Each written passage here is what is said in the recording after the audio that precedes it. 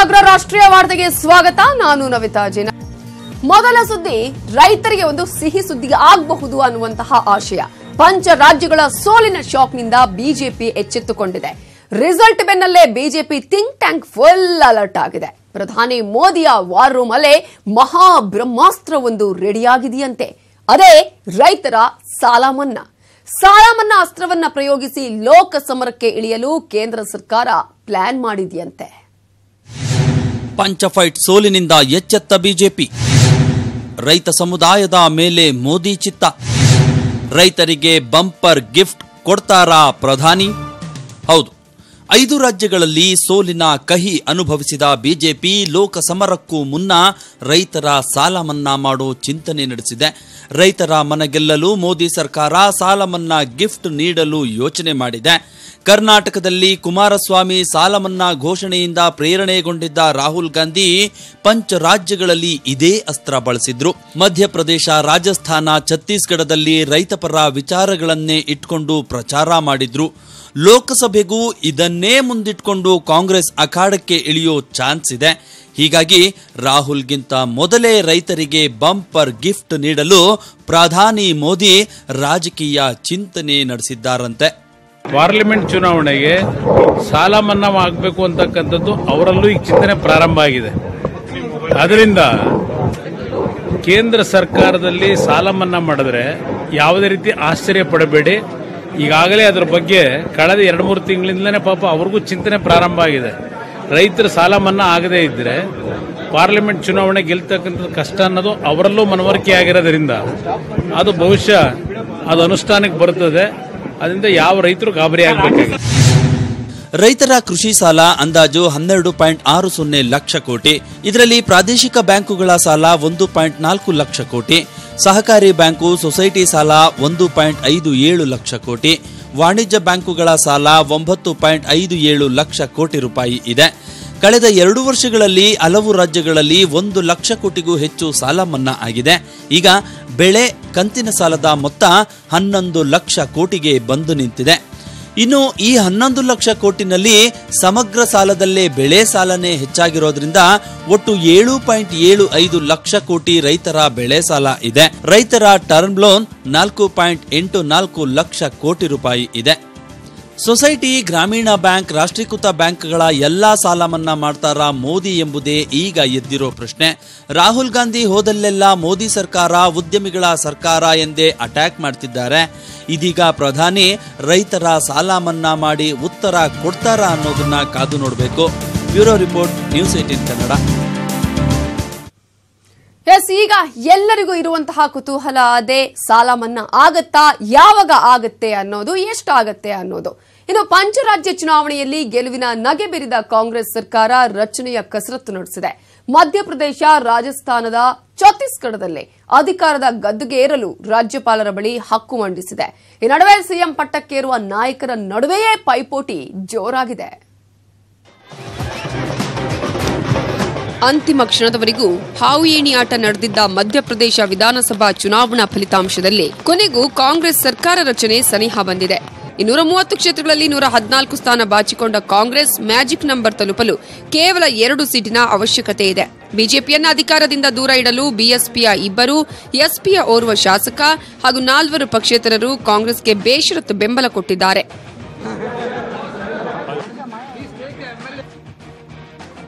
ನೂರ ಇಪ್ಪತ್ತೊಂದು ಶಾಸಕರ ಪಟ್ಟಿಯನ್ನ ಹಿಡಿದು ಕಾಂಗ್ರೆಸ್ ಹಿರಿಯ ನಾಯಕ ಕಮಲ್ನಾಥ್ ರಾಜ್ಯಪಾಲರನ್ನ ಭೇಟಿಯಾಗಿ ಸರ್ಕಾರ ರಚನೆಗೆ ಹಕ್ಕು ಮಂಡಿಸಿದ್ದಾರೆ ಕಾಂಗ್ರೆಸ್ ಶಾಸಕಾಂಗ ಪಕ್ಷದ ನಾಯಕರಾಗಿ ಕಮಲ್ನಾಥ್ ಆಯ್ಕೆಯಾಗಿದ್ದು ಸಿಎಂ ಪಟ್ಟಕ್ಕೂ ಏರಲಿದ್ದಾರೆ कांग्रेस के पार्टी अध्यक्ष जो भी निर्णय लेंगे वो सिर माते हैं हम सबको एक साथ मिलकर जनता की आशा और अभिलाषाओं को पर खड़े उतरकर उन्हें पूर्ण करनी है यही हमारा संकल्प है ಇನ್ನು ರಾಜಸ್ಥಾನದಲ್ಲಿ ಕಾಂಗ್ರೆಸ್ ನೂರು ಸ್ಥಾನಗಳನ್ನು ಗೆದ್ದು ಸರಳ ಬಹುಮತ ಗಳಿಸಿದೆ ಜೊತೆಗೆ ಬಿಜೆಪಿ ವಿರುದ್ಧ ಇರುವ ಪಕ್ಷೇತರರನ್ನೂ ಸೇರಿಸಿಕೊಂಡು ಮುನ್ನಡೆಯುವ ಸೂಚನೆ ಇದೆ ಮುಖ್ಯಮಂತ್ರಿ ಗಾದಿಗೆ ಸಚಿನ್ ಪೈಲಟ್ ಹಾಗೂ ಅಶೋಕ್ ಗೆಹ್ಲೋಟ್ ನಡುವೆ ಪೈಪೋಟಿ ಇದ್ದು ಹಿರಿಯ ನಾಯಕ ಮಾಜಿ ಸಿಎಂ ಅಶೋಕ್ ಗೆಹ್ಲೋಟ್ ಆಯ್ಕೆಯಾಗುವ ಸಾಧ್ಯತೆ ಇದೆ राजस्थान में एक नया दौर शुरू होगा नई सरकार के निर्माण के साथ और हमारी सरकार की प्राथमिकता रहेगी कि यहाँ पर हम किसान और नौजवानों को प्राथमिकता देकर जो मैनिफेस्टो में हमने कमिटमेंट किए हैं उनको पूरा करें अब भाई हम लोग अपने बहुमत के साथ साथ जो भी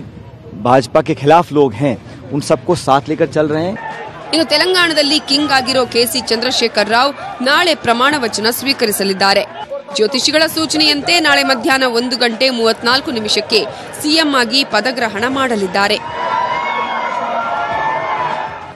ಇನ್ನು ಛತ್ತೀಸ್ಗಢದಲ್ಲಿ ಇವತ್ತು ಸಭೆ ನಡೆಸಿದ ಕಾಂಗ್ರೆಸ್ಗೆ ಸಿಎಂ ಆಯ್ಕೆ ಕಗ್ಗಂಟಾಗಿದೆ. ಸಂಸದ ತಮರ್ ಧ್ವಾಜ್ ಸಾಹು, ರಾಜ್ಯ ಕಾಂಗ್ರೆಸ್ ಅಧ್ಯಕ್ಷ ಭೂಪೇಶ್ ಬಘೇಲ್, ಹಿರಿಯ ಮುಖಂಡ ಟಿಎಸ್ ಸಿಂಗ್ ಡಿಯೋ ಸಿಎಂ ರೇಸಲ್ಲಿದ್ದಾರೆ. ಇನ್ನು ಮಿಜೋರಾಂನಲ್ಲಿ ಕಾಂಗ್ರೆಸ್ ಮಣಿಸಿ ನಿಚ್ಚಳ ಬಹುಮತ ಗಳಿಸಿರುವ ಎಂಎನ್ಎಫ್ ಅಧಿಕಾರಕ್ಕೇರಲು ಸಿದ್ಧತೆ ನಡೆಸಿದೆ. ಮಾಜಿ ಸಿಎಂ ಜೋರಂ ಥಾಂಗಾ ಈ ಬಾರಿ ಮುಖ್ಯಮಂತ್ರಿಯಾಗಲಿದ್ದಾರೆ. Kiran Malkar, news desk, news eighteen Kannada. ರಾಜ್ಯದ ಸುದ್ದಿಯನ್ನ ನೋಡೋದಾದ್ರೆ ಚಳಿಗಾಲದ ಅಧಿವೇಶನದ ಮೂರನೇ ದಿನ ರೈತರ ಸಾಲಮನ್ನಾ ವಿಚಾರ ದೋಸ್ತಿ ಸರ್ಕಾರಕ್ಕೆ ಬಿಸಿ ಮುಟ್ಟಿಸಿದೆ. ಬರ ಪರಿಸ್ಥಿತಿ ನಿಭಾಯಿಸುವಲ್ಲಿ ಸರ್ಕಾರ ವಿಫಲವಾಗಿದೆ ಅಂತ ಪ್ರತಿಪಕ್ಷ ಸದಸ್ಯರು ಸರ್ಕಾರದ ವಿರುದ್ಧ ವಾಗ್ದಾಳಿ ನಡೆಸಿದ್ರು. ಮೇವು, ನೀರು ಕೊಡದ ಸರ್ಕಾರ ಸತ್ತಂತೆ ಅಂತ ಬಿಜೆಪಿ ಆರೋಪ ಮಾಡಿತು. ಅನ್ನದಾತರಿಗೆ ಸ್ಪಂದಿಸದ ಸರ್ಕಾರ ಸತ್ತಂತೆ ಅನ್ನುವಂತಹ ಆರೋಪವನ್ನು ಕೂಡ ಮಾಡಲಾಯಿತು. ಬೆಳಗಾವಿ ಅಧಿವೇಶನದಲ್ಲಿ ಸಾಲ ಮನ್ನಾ ಬರ ನಿರ್ವಹಣೆ ಚರ್ಚೆ. ಪ್ರಚಾರಕ್ಕೆ ಮಾತ್ರ ಸಾಲ ಮನ್ನಾ ಸೀಮಿತ ಅಂತ ಬಿಜೆಪಿ ಆಕ್ರೋಶ. ಎಸ್, ಬೆಳಗಾವಿಯ ಚಳಿಗಾಲದ ಅಧಿವೇಶನದಲ್ಲಿ ಇವತ್ತು ಪ್ರತಿಪಕ್ಷ ಬಿಜೆಪಿ ಶಾಸಕರು ದೋಸ್ತಿ ಸರ್ಕಾರದ ಮೇಲೆ ಮುಗಿಬಿದ್ರು ಸದನದಲ್ಲಿ ಸಾಲ ಮನ್ನಾ ವಿಚಾರ ಪ್ರಸ್ತಾಪಿಸಿದ ಕೆಜಿ ಬೋಪಯ್ಯ ಸರ್ಕಾರಕ್ಕೆ ಮಾಹಿತಿ ನೀಡುವಂತೆ ಕೇಳಿದ್ರು. ಈ ವೇಳೆ ಸರ್ಕಾರ ಸಮಂಜಸ ಉತ್ತರ ನೀಡದ ಹಿನ್ನೆಲೆ ಬಿಜೆಪಿ ನಾಯಕರು ಸರ್ಕಾರದ ವಿರುದ್ಧ ವಾಗ್ದಾಳಿ ನಡೆಸಿದ್ರು. ಸಾಲ ಮನ್ನಾ ವಿಚಾರವನ್ನ ಸರ್ಕಾರ ಗೊಂದಲದ ಗೂಡಾಗಿಸಿದೆ. ಪ್ರಚಾರಕ್ಕೆ ಮಾತ್ರ ಬಳಸಿಕೊಳ್ತಿದೆ ಅಂತ ಜಗದೀಶ್ ಶೆಟ್ಟರ್ ಕಿಡಿಕಾರಿದ್ರು. ನಿಮ್ಮ ಸಾಲ ಮನ್ನಾ ಯೋಜನೆಯಿಂದ ಅವರಿಗೆ ಅಕೌಂಟಿಗೆ ಜಮಾನು ಇಲ್ಲ. ಕೊನೆಗಿದು ಪತ್ರಿಕೆ ಮಾತ್ರ ನಲವತ್ಮೂರು ಲಕ್ಷ ರೈತರಿಗೆ ಪ್ರಚಾರ. ಇಲ್ಲಿ ಆ ಜಾಹೀರಾತು. ಇದೇ ವಿಚಾರಕ್ಕೆ ಮಾತನಾಡಿದ ಪ್ರತಿಪಕ್ಷ ನಾಯಕ ಬಿಎಸ್ ಯಡಿಯೂರಪ್ಪ ಕೂಡಲೇ ಸೂಕ್ತ ನಿರ್ಧಾರ ಕೈಗೊಳ್ಳುವಂತೆ ಸರ್ಕಾರಕ್ಕೆ ಸಲಹೆ ನೀಡಿದರು. ಐವತ್ತು ಕೋಟಿ ರೂಪಾಯಿನ ಬೆಂಗಳೂರು ಗ್ರಾಮಾಂತರ ದೊಡ್ಡಬಳ್ಳಾಪುರ ಇನ್ನೂರ ತೊಂಬತ್ತು ಜನ ಇನ್ನು ಬಂಟ್ವಾಳ ಶಾಸಕ ರಾಜೇಶ್ ನಾಯ್ಕ್ ಮೇಲಿನ ದಬ್ಬಾಳಿಕೆ ವಿಚಾರದಲ್ಲಿ ಆಡಳಿತ ಹಾಗೂ ಪ್ರತಿಪಕ್ಷ ಸದಸ್ಯರ ನಡುವೆ ಮಾತಿನ ಚಕಮಕಿ ನಡೆಯಿತು. ಇದು ಸಣ್ಣ ವಿಚಾರ ಅಂದ ಸಚಿವ ಖಾದರ್ ವಿರುದ್ಧ ಆಕ್ರೋಶ ವ್ಯಕ್ತಪಡಿಸಿದ್ರು. ಈ ವೇಳೆ ಸಿಟ್ಟಾದ ಸ್ಪೀಕರ್ ರಮೇಶ್ ಕುಮಾರ್ ಮಧ್ಯಪ್ರವೇಶಿಸಿ ಗಲಾಟೆ ನಿಲ್ಲಿಸುವಂತೆ ವಾರ್ನ್ ಮಾಡಿದ್ರು. ಶಾಸಕರಿಗೆ ಸೂಕ್ತ ರಕ್ಷಣೆ ನೀಡೋದು ಸರ್ಕಾರದ ಕರ್ತವ್ಯ ಅಂತ ಸರ್ಕಾರಕ್ಕೆ ಸಲಹೆ ಕೊಟ್ರು. ಬಳಿಕ ಮಾತನಾಡಿದ ಪರಮೇಶ್ವರ್, ಸೂಕ್ತ ತನಿಖೆ ಮಾಡಿ ತಪ್ಪಿತಸ್ಥರ ವಿರುದ್ಧ ಕ್ರಮ ಕೈಗೊಳ್ಳುವುದಾಗಿ ಹೇಳಿದ್ರು. ಅದನ್ನ ಪರಿಶೀಲನೆ ಮಾಡಿ, ಹೌದು, ಇಲ್ಲಿ ಅವ್ಯವಹಾರ ಆಗಿದೆ ಅಂತ ಹೇಳಿ ಇವರ ಸೂಚನೆ ಮೇಲೆ, ಶಾಸಕರ ಸೂಚನೆ ಮೇಲೇ ಇದನ್ನು ಎ ಸಿ ಬಿ ಕೊಡಬೇಕು, ಭ್ರಷ್ಟಾಚಾರ ನಿಗ್ರಹದಕ್ಕೆ ಕೊಡಬೇಕು ಅಂತ ಹೇಳಿ ಸಲಹೆ ಕೊಟ್ಟಿದ್ದಾರೆ. ಅದನ್ನು ಈಗಾಗಲೇ ಆಯುಕ್ತರು ಅದನ್ನು ಕೊಟ್ಟಿದ್ದಾರೆ. ಸರ್ಕಾರಿ ಆದೇಶ ಹೊರಟಿದೆ. ಇನ್ನು ಬರ ಪರಿಸ್ಥಿತಿ ನಿಭಾಯಿಸುವಲ್ಲಿ ರಾಜ್ಯ ಸರ್ಕಾರ ವಿಫಲವಾಗಿದೆ. ಸಿಎಂ ವಿಡಿಯೋ ಕಾನ್ಫರೆನ್ಸ್ನಲ್ಲಿ ಅಧಿಕಾರಿಗಳ ಜೊತೆ ಮಾತನಾಡಿದ್ರೆ ಹೇಗೆ? ನೀರು, ಮೇವು ಕೊಡದ ಸರ್ಕಾರಕ್ಕೆ ಸರ್ಕಾರ ಅಂತ ಕರಿಬೇಕಾ? ಅಂತ ಈಶ್ವರಪ್ಪ ವಾಗ್ದಾಳಿ ನಡೆಸಿದ್ರು. ಮಣ್ಣಿನ ಮಗ ಅಂತ ಹೇಳುವ ದೇವೇಗೌಡರು ಹಾಗೂ ಹಿಂದುಳಿದ ವರ್ಗದ ಮುಖಂಡ ಅನ್ನಿಸಿಕೊಂಡ ಸಿದ್ದರಾಮಯ್ಯ, ರಾಜ್ಯ ಪ್ರವಾಸ ಮಾಡ್ಲಿ ಅಂತ ಸವಾಲ್ ಹಾಕಿದ್ರು. ಮುಖ್ಯಮಂತ್ರಿ, ಉಪಮುಖ್ಯಮಂತ್ರಿಗಳು ಹೋಗ್ಲಿ. ಅಧಿಕಾರ ಹಂಚಿಕೊಂಡಿದ್ರಲ್ಲ ಮಾನ್ಯ ಪ್ರಧಾನಮಂತ್ರಿಗಳಾಗಿದ್ದಂತ ದೇವೇಗೌಡರು ಮತ್ತು ಸಿದ್ದರಾಮಯ್ಯನವರು ಹೋಗ್ಲಿ. ಕೇಂದ್ರ ಸರ್ಕಾರದ್ದು ನಿಮಗೆ ಗೊತ್ತಿದೆ. ನಾ ಅಲ್ಲಿ ಇವತ್ತಿಲ್ಲ, ನಾಳೆ ಬಂದೇ ಬರುತ್ತೆ. ಅವ್ರಿಗೆ ತಕ್ಷಣ ಕೇಂದ್ರ ಸರ್ಕಾರಕ್ಕೆ ಒತ್ತಾಯ ಮಾಡಿ ಅಂತ ನಾನು ಕೇಳಿದೆ ಕೇಂದ್ರ ಸರ್ಕಾರ, ರಾಜ್ಯ ಸರ್ಕಾರ ಎರಡೂ ಕೂಡ ನಾವು ರೈತರಿಗೆ ಬರಲಿಲ್ಲ ಅಂತಂದ್ರೆ, ಕೇಂದ್ರ ಸರ್ಕಾರ ಇದ್ರು ಸತ್ತಂಗೆ, ರಾಜ್ಯ ಸರ್ಕಾರ ಇದ್ರು ಸತ್ತಂಗೆ. ಈ ವೇಳೆ ಪಂಚರಾಜ್ಯಗಳ ಚುನಾವಣಾ ಫಲಿತಾಂಶದ ಬಗ್ಗೆಯೂ ಪ್ರಸ್ತಾಪವಾಯಿತು. ರೈತರನ್ನ ನೀವು ಮುಗಿಸಿದ್ರಿ. ನಾವು ನಿಮ್ಮನ್ನ ಮುಗಿಸ್ತೇವೆ ಅಂತ ಈಶ್ವರಪ್ಪ ಹೇಳಿದಾಗ ಮಧ್ಯಪ್ರವೇಶ ಮಾಡಿದ ಸಚಿವ ಸಾರಾ ಮಹೇಶ್, ಅಯ್ಯೋ, ಕಂಡಿದ್ದೇವೆ. ಐದು ರಾಜ್ಯಗಳಲ್ಲಿ ಮುಗಿಸಿದ್ದನ್ನ ಅಂತ ಹೇಳಿದ್ರು. ಅಯ್ಯೋ, ನೀವು ಬಿಡಿ. ಪಕ್ಕದ ಮನೆಯಲ್ಲಿ ಮಗು ಹುಟ್ಟಿದ್ರೆ ನಿಮ್ದೇ ಅಂತೀರಾ ಅಂತ ಟಾಂಗ್ ನೀಡಿದ್ರು. ಪೇಜ್.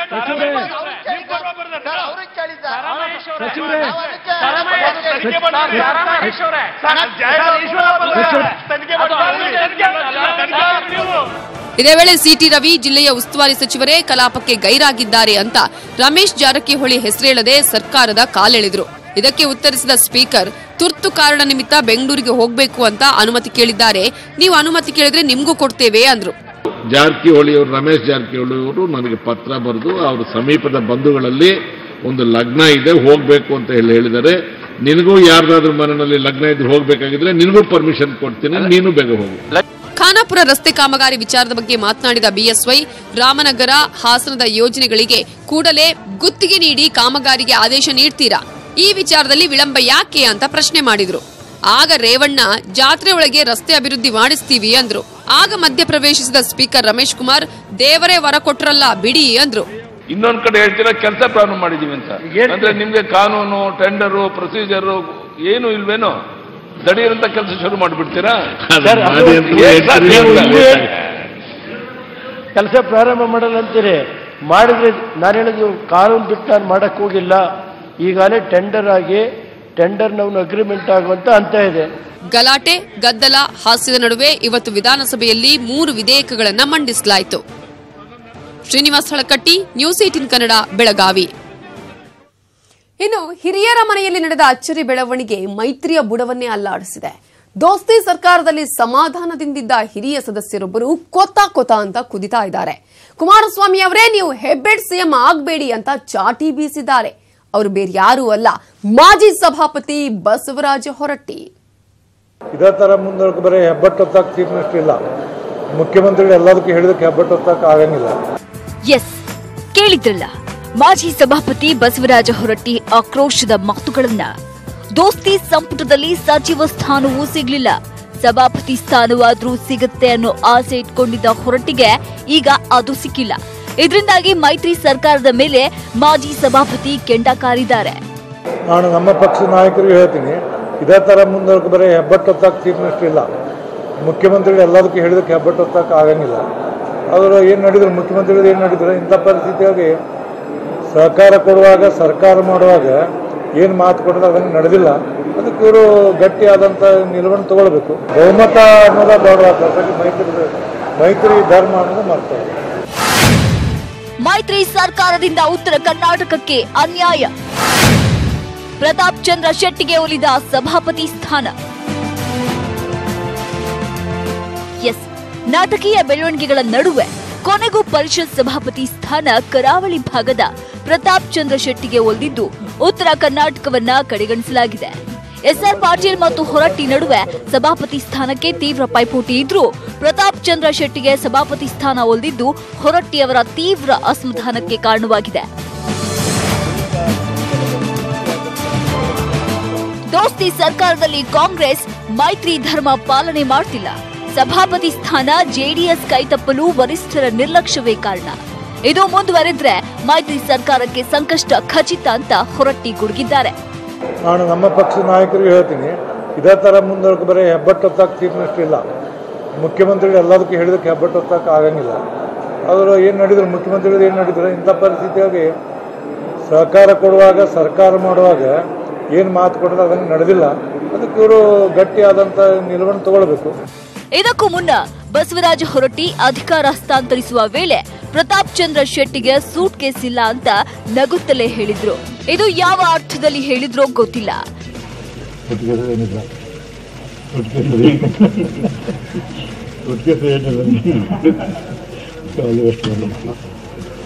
ಇಡೀ ಸದನ ಹೊರಟ್ಟಿ ಅವರನ್ನ ಹಾಡಿ ಹೊಗಳ್ತಾ ಇದ್ರು ಕೂಡ ಹೊರಟ್ಟಿ ಬೇಸರದಿಂದಲೇ ಕುಡಿತಿದ್ರು ದುಃಖ ತಡೆಯಲಾರದೆ ಹೊರಗಡೆ ಕಣ್ಣೀರ್ ಹಾಕಿದ್ರು. ಹೊರಟ್ಟಿಗೆ ಸಭಾಪತಿ ಸ್ಥಾನ ಸಿಗದಿದ್ದಕ್ಕೆ ಬಿಜೆಪಿ ನಾಯಕರು ಬೇಸರ ವ್ಯಕ್ತಪಡಿಸಿದ್ದಾರೆ. ಮೈತ್ರಿ ನಾಯಕರ ವಿರುದ್ಧ ಆಕ್ರೋಶ ವ್ಯಕ್ತಪಡಿಸಿದ್ದಾರೆ. ಅವರ ಒಂದು ಅನುಭವ ಹಿನ್ನೆಲೆಯಲ್ಲಿ ಅವರು ಸಚಿವರಾಗಬೇಕಂತ ನಮ್ಮೆಲ್ಲರ ಅಪೇಕ್ಷೆ ಇತ್ತು. ಸಚಿವರಾಗಲಿಲ್ಲ. ಕೊನೆಗೆ ಅವರು ಸಭಾಪತಿಯವರು ಆಗಿದ್ರು ಒಂದು ಗೌರವದ ಸ್ಥಾನದಲ್ಲಿ ಇರ್ತಾರೆ ಅನ್ನುವಂಥದ್ದು ನಾವೆಲ್ಲ ಬಯಸಿದ್ವಿ. ಆದರೆ ಇವತ್ತು ಅವನ್ನು ಹೊರತುಪಡಿಸಿ ಇವತ್ತು ಉತ್ತರ ಕರ್ನಾಟಕ ಭಾಗದ ಬಸವರಾಜ ಹೊರಟ್ಟಿ ಅವರಿಗೆ ಆ ಅವಕಾಶ ಕೊಡಲಿಲ್ಲ. ಇವತ್ತು ಉತ್ತರ ಕರ್ನಾಟಕದ ಭಾಗದ ಜನರಿಗೆ ಇವತ್ತು ಅನ್ಯಾಯ ಮಾಡಿದ್ದಾರೆ. ಇದೊಂದು ಶಾಕಿಂಗ್ ನ್ಯೂಸ್ ಕೊಟ್ಟಿದ್ದಾರೆ. ಒಟ್ಟಾರೆ ಸಿದ್ದರಾಮಯ್ಯ ಬಣದ ಎಸ್ಆರ್ ಪಾಟೀಲ್ಗೂ ಸಭಾಪತಿ ಸ್ಥಾನ ಸಿಗಲಿಲ್ಲ. ಹೊರಟ್ಟಿಗೂ ಸಿಕ್ಕಿಲ್ಲ. ಇದು ಮೈತ್ರಿ ಸರ್ಕಾರದಲ್ಲಿ ಯಾವ ಪರಿಣಾಮ ಬೀರುತ್ತೋ ಕಾದ್ ನೋಡಬೇಕು. ಕ್ಯಾಮರಾಮನ್ ನೂರ್ ಅಹಮದ್ ಜೊತೆ ಜನಾರ್ದನ್ ಹೆಬ್ಬ ನ್ಯೂಸ್ ಏಟಿನ್ ಕನ್ನಡ ಬೆಳಗಾವಿ. ಮುಂದಿನ ಸುದ್ದಿ ಮೆಟ್ರೋ ಪ್ರಯಾಣಿಕರು ಇವತ್ತು ಅಕ್ಷರಶಃ ಕನಲಿ ಹೋಗಿದ್ರು. ಮೆಟ್ರೋ ಹತ್ತೋಕ್ಕೂ ಆತಂಕ ಪಡ್ತಾ ಇದ್ರು. ಇದಕ್ಕೆಲ್ಲ ಕಾರಣವಾಗಿದ್ದು ಆ metro killer pillar. News eighteen ಕನ್ನಡದ ರಿಯಾಲಿಟಿ ಚೆಕ್ ಅಲ್ಲಿ ಬಂಡವಾಳ ಬಯಲಾಗ್ತಾ ಇದ್ದ ಹಾಗೆ ಗಾಢ ನಿದ್ದೆಯಿಂದ ಎಚ್ಚೆತ್ತುಕೊಂಡ ಬಿಎಂಆರ್ಸಿಎಲ್ ರಿಪೇರಿ ಕಾರ್ಯಕ್ಕೆ ಮುಂದಾಯಿತು. ಮೆಟ್ರೋ ರೈಲು ಹತ್ತೋಕ್ಕೂ ಮುನ್ನ ಹುಷಾರ್. ಪ್ರಯಾಣಿಕರಿಗೆ ಶಾಕ್ ನೀಡಿದ ಕಿಲ್ಲರ್ ಪಿಲ್ಲರ್. ಎಸ್ ಬೆಂಗಳೂರಿಗೆ ವರದಾನವಾಗಿ ಸಿಕ್ಕ ಮೆಟ್ರೋ ಮೇಲೆ ಯಾವುದೇ ಗಂಭೀರ ಆರೋಪ ಬಂದಿರಲಿಲ್ಲ. ಆದರೆ for the first time metro ಬಗ್ಗೆ ಪ್ರಯಾಣಿಕರು ಆತಂಕ ವ್ಯಕ್ತಪಡಿಸುವಂತಾಗಿದೆ. ಟ್ರಿನಿಟಿ ಸ್ಟೇಷನ್ನ ಪಿಲ್ಲರ್ನಲ್ಲಿನ ಬಿರುಕು ಅಕ್ಷರಶಃ ಆತಂಕಕ್ಕೆ ದೂಡಿದೆ. ಬೇರಿಂಗ್ ಡಿಸ್ ಅಲೈನ್ಮೆಂಟ್ ಜೊತೆಗೆ ಇತರೆ ಪಿಲ್ಲರ್ಗಳ ಜಾಯಿಂಟ್ನಲ್ಲೂ ಸಡಿಲಿಕೆ ಕಂಡುಬಂದಿದೆ. ಈ ಸಮಸ್ಯೆ ಇವತ್ತು ನಿನ್ನೆಯದಲ್ಲ. ವಾರದ ಹಿಂದೆಯೇ ಬಿರುಕು ಕಾಣಿಸಿಕೊಂಡಿದೆ. ಆದರೆ, ಬಹಿರಂಗವಾದರೆ ಫಜಿತಿ ಅಂತ ಗೌಪ್ಯವಾಗಿ ತೇಪೆ ಮಾಡಿದ್ರು ಮೂರ್ನಾಲ್ಕು ನಿಮಿಷಕ್ಕೊಂದು ಸಂಚರಿಸುತ್ತಿದ್ದ ಟ್ರೈನ್ಸ್ ಅರ್ಧ ಗಂಟೆಗೊಮ್ಮೆ ಚಲಾಯಿಸಲಾರಂಭಿಸಿತ್ತು. ಟ್ರೈನ್ ಸ್ಪೀಡ್ ಹತ್ತು ಕಿಲೋಮೀಟರ್ಗೆ ತಗ್ಗಿಸಲಾಯಿತು. ಟ್ರೈನಿಗೆ ಬರ್ಲಿಕ್ಕತ್ತಿದ್ದೆ ಭಯಂಕರ ಆತಂಕ ಆಯ್ತು ಅನೌನ್ಸ್ಮೆಂಟ್ ಮಾಡ್ಲಿಕ್ಕತ್ರು ಮೂವತ್ತು ನಿಮಿಷಕ್ಕೊಂದು ಇಪ್ಪತ್ತು ನಿಮಿಷಕ್ಕೊಂದು. ನಾವಿಲ್ಲ ಆಫೀಸ್ನಾಗ ಏನು ಹೇಳ್ಬೇಕು? ಮನ್ಯಾಗ ಅಲ್ಲಿ ಮನ್ಯಾಗಿನವ್ರೇನು ತಿಳ್ಕೋಬೇಕು. ಸಾರ್ವಜನಿಕರಿಗೆ ತೊಂದರೆ ಆಗುತ್ತೆ. ಇದನ್ನು ಆದಷ್ಟು ಬೇಗ ಕಂಪ್ಲೇಂಟ್ ನಿವಾರಣೆ ಮಾಡಬೇಕು ಅಂತ ನಾನು ಕೇಳ್ಕೊತೀನಿ. ಹೆಚ್ಚಿನ ಭಾರಕ್ಕೆ ಹಳಿಗಳಿಗೆ ತೊಂದರೆ ಆಗ್ಬೋದೆಂಬ ಕಾರಣಕ್ಕೆ ಆರು ಬೋಗಿಗಳ ರೈಲ್ ಸಂಚಾರವನ್ನೇ ಸ್ಥಗಿತಗೊಳಿಸಲಾಗಿದೆ. ಆದ್ರೆ ಅಧಿಕಾರಿಗಳು ಬಿರುಕನ್ನು ಒಪ್ಕೋತಾರೆ. ಈಗಾಗಲೇ ಅದೆಲ್ಲ ಸರ್ಕಾರದ ಗಮನದಲ್ಲಿದೆ. ನಾನು ರಾಜ್ಯದಲ್ಲಿ ಏನೇ ಒಂದು ಸಣ್ಣ ಪುಟ್ಟ ಸಮಸ್ಯೆಗಳಾದರೂ ಪ್ರತಿಯೊಂದನ್ನು ಸೂಕ್ಷ್ಮವಾಗಿ ಗಮನಿಸ್ತಕ್ಕಂಥದ್ದು. ಅವರಿಗೆ ಸರಿಯಾದ ರೀತಿಯ ಮುಂಜಾಗ್ರತೆ ಕ್ರಮ ತೆಗೆದುಕೊಳ್ಳಿಕ್ಕೆ ಈಗಾಗಲೇ ಸೂಚನೆ ಕೊಟ್ಟಿದ್ದೆ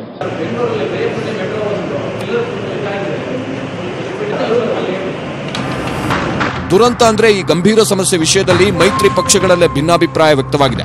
ಸಿಎಂ ಎಚ್ ಡಿ ಕುಮಾರಸ್ವಾಮಿ ದೋಷ ಸರಿಪಡಿಸಿ ಎಂದು ಆದೇಶಿಸಿದ್ದೇನೆ ಅಂದ್ರೆ ಮೆಟ್ರೋದ ಉಸ್ತುವಾರಿಯಾಗಿರುವ ಡಿಸಿಎಂ ಪರಮೇಶ್ವರ್ ಮೆಟ್ರೋದಲ್ಲಿ ಹೀಗಾಗಿದೆಯಾ ಎನ್ನೋ ಮೂಲಕ ಉಡಾಫೆತನ ಪ್ರದರ್ಶಿಸಿದ್ದಾರೆ. ನ್ಯೂಸ್ ಏಟಿನ್ ವರದಿ ನಂತರ ಭರದಿಂದ ರಿಪೇರಿ ಕಾರ್ಯ ಆರಂಭವಾಗಿದೆ. ರಿಪೇರಿ ಆದರೂ ಇಲ್ಲಿ ಸಂಚರಿಸುವ ಪ್ರಯಾಣಿಕರಲ್ಲಿನ ಆತಂಕ ಸದ್ಯಕ್ಕಂತೂ ದೂರವಾಗಲ್ಲ ಎನ್ನುವುದು ಕೂಡ ಸತ್ಯನೇ ಕ್ಯಾಮ್ರಾ ಪರ್ಸನ್ ವೀರಣ್ಣ ಜೊತೆ ಗಿರೀಶ್ ಜೊತೆ Thomas Pushparaj news eighteen Kannada Bengaluru Ambidant ಬಹುಕೋಟಿ ವಂಚನೆ ಪ್ರಕರಣದ ತನಿಖೆ ಸರಿಯಾಗಿ ನಡೀತಾ ಇಲ್ಲ ಅಂತ ಹಣ ಹೂಡಿಕೆ ಮಾಡಿದ ಗ್ರಾಹಕರು ಆರೋಪ ಮಾಡಿದ್ದಾರೆ. ಸಾವಿರಾರು ಗ್ರಾಹಕರು ಕೋಟಿಗಟ್ಟಲೆ ಹಣವನ್ನ ಆಂಬಿಡೆಂಟ್ನಲ್ಲಿ ಹೂಡಿಕೆ ಮಾಡಿ ಕಳೆದುಕೊಂಡಿದ್ದಾರೆ. ಆದರೆ ತನಿಖೆ ನಡೆಸ್ತಾ ಇರುವ ಸಿಸಿಬಿ ಪೊಲೀಸರು ಸರಿಯಾಗಿ ತನಿಖೆ ಮಾಡ್ತಾ ಇಲ್ಲ ಅನ್ನುವಂತಹ ಆರೋಪ ಗ್ರಾಹಕರದ್ದು. ಆದರೆ ಸಿಸಿಬಿ ಹೆಚ್ಚುವರಿ ಮುಖ್ಯಸ್ಥ ಅಲೋಕ್ ಕುಮಾರ್ ಗ್ರಾಹಕರು ಮಾಡಿರುವ ಆರೋಪಗಳನ್ನ ಅಲ್ಲಗಳೆದಿದ್ದಾರೆ. ತನಿಖೆ ಸರಿಯಾಗಿ ನಡೀತಾ ಇದೆ ಅಂತ ಹೇಳಿದ್ದಾರೆ.